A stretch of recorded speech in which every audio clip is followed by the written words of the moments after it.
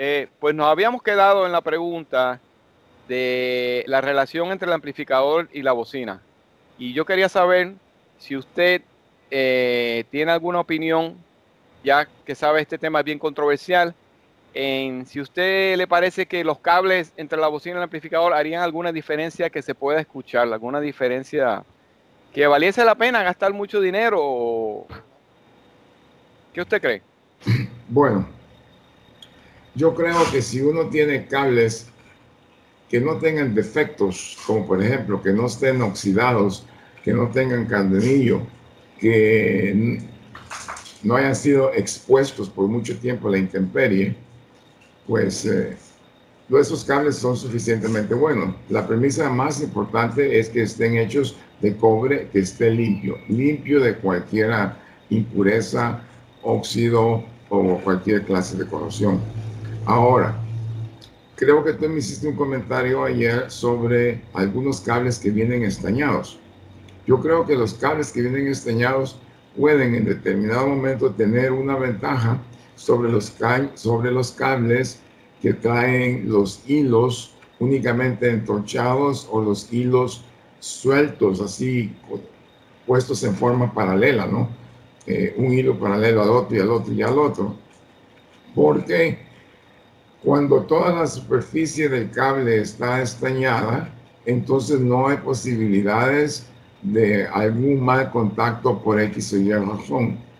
El estaño es un buen conductor, ciertamente se oxida con el aire, con solo estar en contacto con el aire se oxida el estaño, pero es un óxido muy leve que yo creo que no tendría ningún impacto de ninguna clase. Ahora, he visto en internet que venden cables eh, viejos, muy, muy viejos, que tienen 40 años, como por ejemplo cables de la Western Electric. Yo no creo que esos cables tengan nada en especial. Simplemente si son alambres de cobre trenzados y estañados, pues eh, esos son lo que son. No tienen ninguna otra particularidad y no creo que valga la pena invertir, qué sé yo, 10 o 15 o más dólares por metro o por pie comprando esa clase de cables.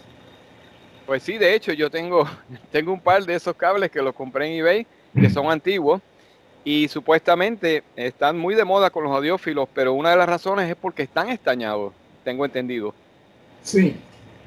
Pero, pero usted no piensa que es necesario que, que se consiga en la ferretería. Ahora, estamos hablando de la, cómo los electrones viajan, pero también estamos hablando de, bueno, es que es lo mismo, ¿no? La capacitancia, la resistencia, eh, el homiaje que puede variar cuando se usa tipo, tipo de cable, como digamos la plata. Si se usa un poco de plata en un cable. En el rango de frecuencias, de las audiofrecuencias, realmente las capacidades parásitas no tienen ningún impacto. Las capacidades parásitas tienen impacto en radiofrecuencia, es decir, cuando tú estás transmitiendo una señal de radiofrecuencia que por lo menos va de 500 kilociclos, que es el 500 kilociclos es el límite inferior de la banda de broadcasting, 550 kilociclos. Eh, de ahí parte, especialmente en la nomenclatura norteamericana, va de 550 a 1650, después viene la onda media, después viene la onda corta, después viene VHF. Así es que los dieléctricos, en realidad, a nivel de audiofrecuencia, yo creo que no tienen ningún impacto. Ah, muy interesante. Y qué bueno tener el punto de vista de usted, que habla desde el otro modo, habla también desde la, desde la fuente, desde la radio, cómo, entra el, estas señales al sistema, eh, no solamente el, el, resultado final, sino la fuente. Cabal es que realmente cuando tú llevas la señal de audio del amplificador hacia, eh, hacia la bocina, generalmente lo haces a través de un alambre duplex, es decir, los dos alambres viajan en forma paralela. Están separados por una sustancia plástica o puede ser también una sustancia natural como la seda y el algodón o una combinación de seda, algodón y plástico. Pero al nivel de radiofrecuencias, perdóname, al nivel de audiofrecuencias, esto, las capacidades parásitas o las capacidades eh, entre los dos alambres no son relevantes. Mm. No son relevantes. Ahora bien, hay otro factor que es importante decir. Ni siquiera es relevante en términos del voltaje, porque fíjate bien, el, los voltajes que se desarrollan a un nivel de una impedancia de salida de 4 ohmios, 8 ohmios, inclusive 16 y hasta 32 ohmios, son voltajes en términos generales muy bajos. La potencia está determinada por la cantidad de corriente, de flujo de electrones instantáneo que está ocurriendo en ese momento. Por decirte un ejemplo, este, Cuando tú transmites con una potencia de 100 watts, hay N combinaciones posibles para producir 100 vatios. Puedes producir 100 vatios si por los alambres circulan una corriente de un amperio a 100 voltios, porque 100 voltios por un amperio son 100 watts. O puedes tener eh, una combinación de 10 voltios y 10 amperios y te va a dar también 100 watts. Así es que este, en términos de la, en términos de los voltajes que pudieran perforar los dieléctricos, no hay ningún problema.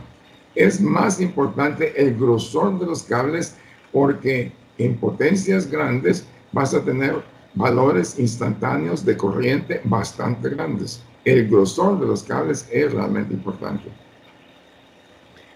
recuerdo en Puerto Rico, en, mi juventud, en mi adolescencia, que las estaciones de radio hacían alarde de cuántos watts ellos podían generar en, su, en sus estaciones. Supongo para que, por la calidad y para también la determina hasta dónde llega, ¿no? La señal. Bueno, veamos, este, tanto en las estaciones de radio como en, los, en las calificaciones que se le dan a los amplificadores de cualquier clase, amplificadores de audiofrecuencia, amplificadores de radiofrecuencia, hay que considerar la forma en que se hace la definición. Por decirte algo, lo que debería de ser estándar y debería de conocer todo comprador es la potencia RMS que produce un equipo de sonido o que produce una estación de radio. Por, e, por, poner un ejemplo, si una estación de radio dice que transmite con 30.000 watts en antena o 30 kilovatios en antena. Cuando tú dices 30 kilovatios en antena y no te dicen otra cosa, realmente no sabes lo que te están diciendo. ¿Por qué? Porque la potencia se puede expresar como la potencia efectiva o potencia RMS. Eso significa root mean square, que es el resultado de un cálculo para llegar a un valor de la potencia efectiva o RMS. También pueden hablarte de lo que se llama el peak envelope power. El peak envelope power es el valor instantáneo que tiene una envolvente de una onda de radio. Una envolvente significa que es el poder de la modulación más el poder de la portadora. Y también puedes tener eh, lo que se llama el peak value. El peak value es el valor que se tiene de la línea de referencia a la cresta positiva o de la línea de referencia a la cresta negativa. Entonces, para que la persona que lee o que compra o que examina un equipo debe de dársele más detalles que solamente decir 10.000 vatios o 10 kilovatios, o en el caso de amplificadores eh, audiofrecuentes, 50 eh, watts, 20 vatios o, o, el número que sea. Tiene que especificarse si es RMS o, que es lo mismo, efectivo, o cualquiera otra de las variedades que te he comentado. En, en, la, en el rango de, modulación de frecuencia de FM, ¿qué le parece a usted, digamos que en los años 60, 70, se oye? Sí, escucho perfectamente. Creo que nos fuimos. Hola. ahí? Sí, Sí, sí. te escucho perfectamente. Le estaba preguntando que en, en la disciplina de la modulación de frecuencia del F- radio FM, en la época, digamos, de los 60 y 70, ¿no le parece a usted que hubo un momento donde había una paralelidad entre el radio y el tocadiscos, donde el radio en algún momento incluso iba ganando en términos de calidad de sonido, porque las estaciones estaban compitiendo unas con otras, estaban generando más calidad y mucha gente no tenían tocadiscos de, de la mejor calidad del mundo, pero sí tenían buenos receptores. De hecho, en, al final de los 70 vino lo que le decían el Receiver Wars, donde toda compañía generó estos receivers estrambóticos. Pioneer tuvo uno de, de 275 watts por canal, y Technics, y Sony. Toda esa gente estaban haciendo eh, la época dorada de los receivers y todos sonaban tremendos con la radio FM. Sí, ciertamente, porque la modulación de frecuencia produce una calidad de modulación superior a la modulación de AM.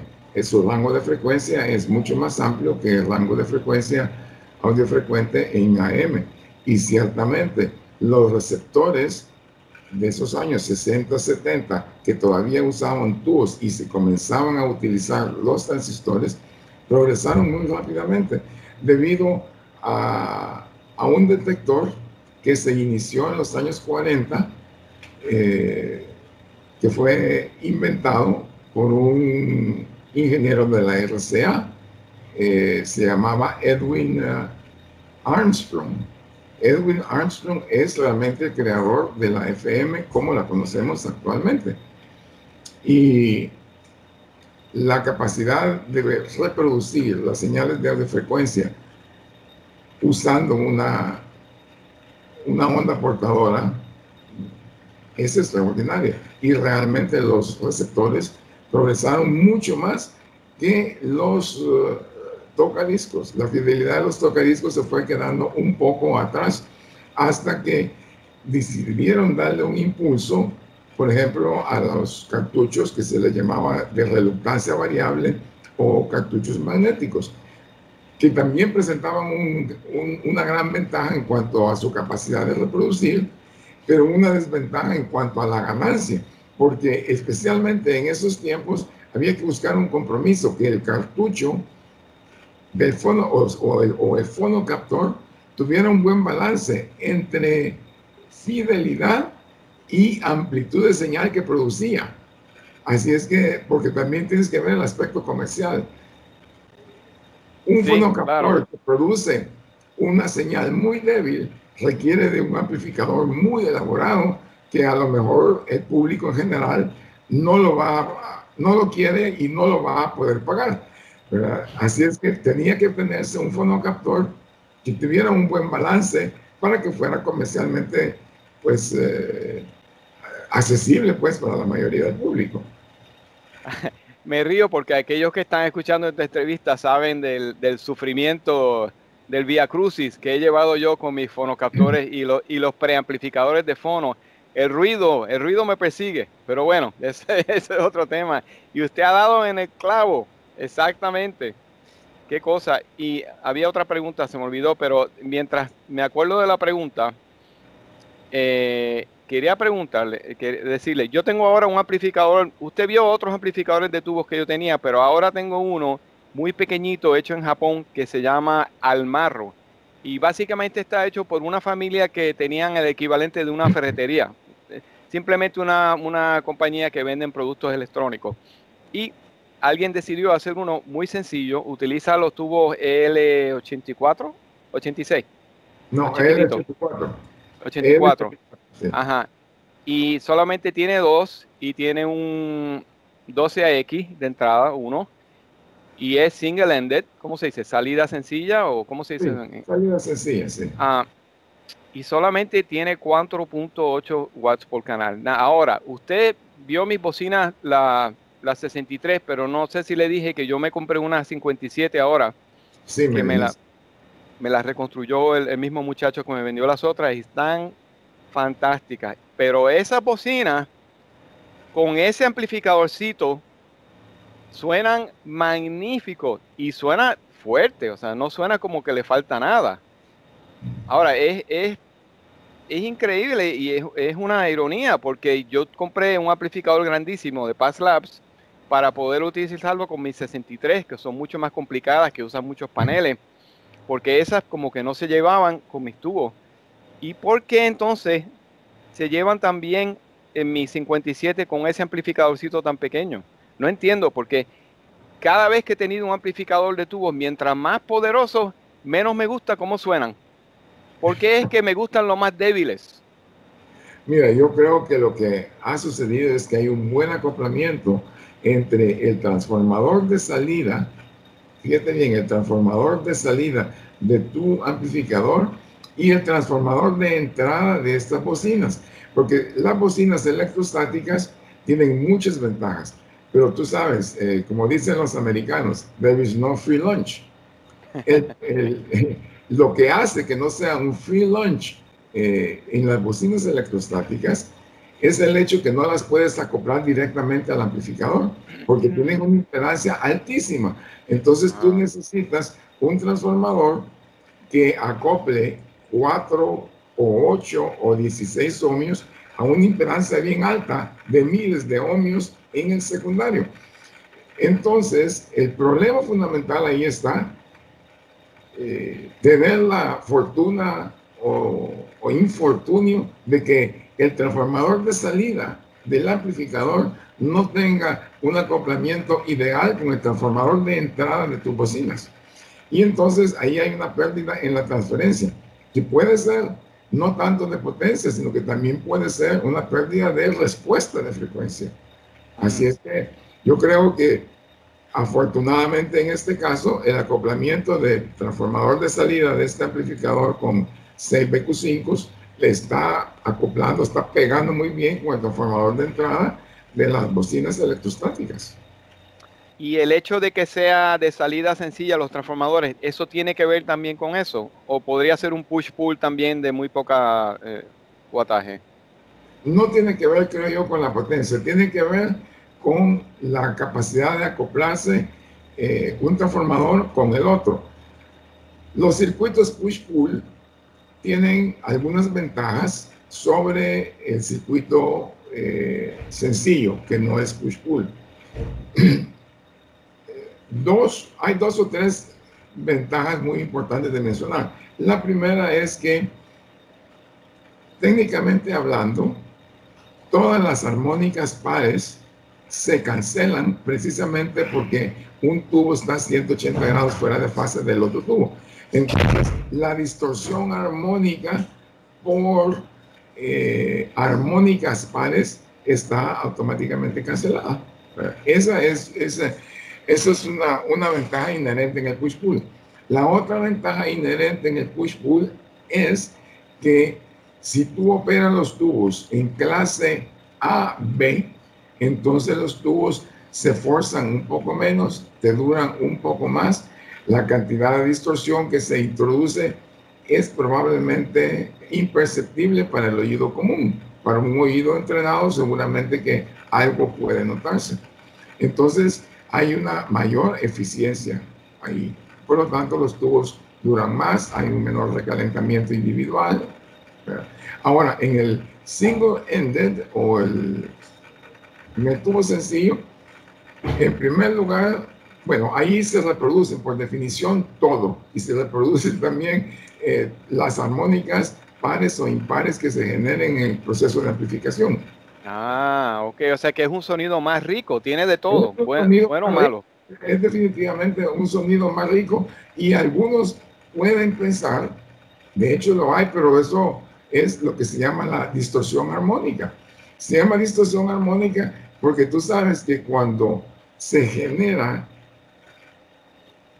eh, una onda a una determinada frecuencia, automáticamente se generan eh, armónicas pares e impares. El problema con estas armónicas pares o impares es que en algunas circunstancias pueden producir lo que se llama interferencia constructiva y otras veces interferencia destructiva. Y ese problema es un problema eh, muy difícil de eliminar. Yo creo que es bastante difícil de eliminar. Y ese es un criterio que usan eh, los diseñadores de amplificadores de transistores, utilizar, por digamos, el segundo orden de distorsión para hacerlo sonar más como un amplificador de tubo. Juegan con eso, ¿no? Definitivamente que sí, definitivamente que sí. Porque fíjate que estos problemas de la distorsión armónica en realidad no está muy relacionada con el hecho de, de que estamos usando un transistor o estamos utilizando eh, un tubo. Más que todo está relacionado con el hecho que para los acoplamientos se utilizan condensadores. Entonces, el condensador tiene la peculiaridad que bloquea la corriente directa, pero deja pasar las corrientes alternas. Una señal de alta frecuencia es una señal ah, de corriente alterna cuyas frecuencias oscilan, porque es, una, la música, la música está compuesta, tú lo sabes mejor que nosotros, de infinidad de frecuencias diferentes. Así es que este, cuando estas frecuencias pasan a través del condensador, el condensador pasa unas mejor que otras, unas las suma y otras las restas. Entonces ahí mismo se produce una distorsión armónica que es realmente la única forma de controlarlo es teniendo un acoplamiento directo, que los que hay también. Hay también sistemas de acoplamiento directo, más complicado, pero existe, incluso en tubos. Y se ha venido estudiando eso casi que desde que el tubo era tubo.